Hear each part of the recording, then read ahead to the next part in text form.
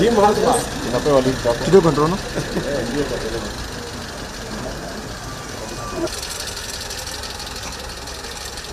160J. Eh, Eh, eh, eh, 160J. eh. Ile samani nakimbia safari gari. Nikaamua nikutetee na nikaandika hii gari yangu hasa. Hasla. Eh, hasa timu hasa. Na mimi napenda wewe kabisa, mimi naona kama wewe ni ndugu yangu. Na sasa nimefurahi kabisa kwa sababu Mungu amekutanisha mimi na wewe. Eh, Eh, mimi naomba tu Mungu tukutane na wewe.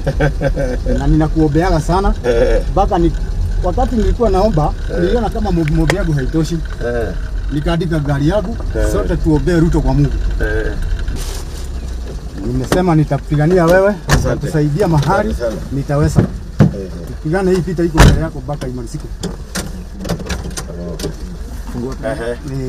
Eh, nimefurahi sana. nimefurahi sana. Eh. Hata mimi nimefurahi Wewe ni mtu hapa Nyahururu? Mimi ni mtu huko Daragwa.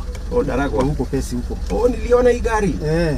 Hii Hata wakati hata wakati ulikuwa hapa Bereni ukaenda Nyanyuki nilikuwa hapa. hey. Wakati ulikuwa hapa Mairoine Mhm. tulikuja tukashuka tukaashania huko Subuku. uh -huh.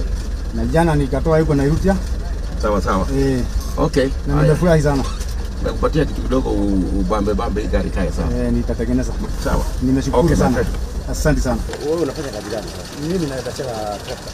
Ndio trakta hii ya kulima. Huwa na mimi napewa. Alafu gari ni yako pia. Gari ni yangu ya kuja tatu. Eh. Sasa ni ya basi ya transport. Eh. Sikia mtu kama anataka kujiko mahali fulani.